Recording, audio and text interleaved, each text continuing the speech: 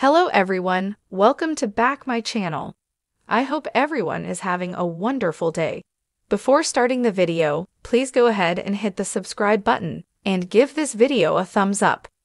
Angela Deem has been one of the most watchable yet controversial members in the 90 Day Fiancé franchise, but she still might make a return to TV.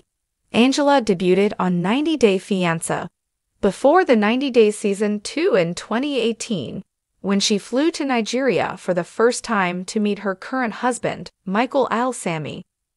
The couple has been regulars on different 90 Day Fiancé franchise shows, including 90 Day Fiancé, Happily Ever After. Over the years, Angela has received a lot of hate due to her personality, but she has continued being popular on the different 90 Day Fiancé spin-offs that she has been on. Many viewers of the show wonder if 90 Days, The Last Resort could have been Angela's final appearance. Although nothing has changed in Angela and Michael's storyline since their marriage in 2020 and Michael's visa delays and denials, there seems to be recent developments that could turn their lives around. Angela and Michael have had their highs and lows over the years, including the cheating allegations surrounding Michael which they tried to resolve in 90 Day, the last resort. However, Angela's behavior became problematic on the show, and it became hard to fix the problems with marriage. There were rumors that TLC had enough of her drama and fired her. However, the year ended on a high for Angela, with multiple reports indicating that her Nigerian Prince Charming is currently in the U.S. Multiple sources reported that Michael had arrived in the U.S. at the end of 2023, ending their six year long distance relationship.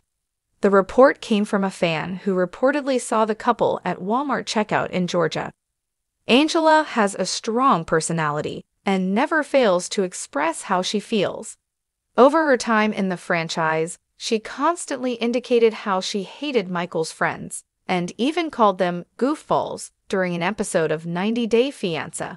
Happily Ever After, notably, Angela has had some of the worst feuds in the 90 Day Fiancé franchise, with the recent one being with Liz Woods on 90 Day Fiancé.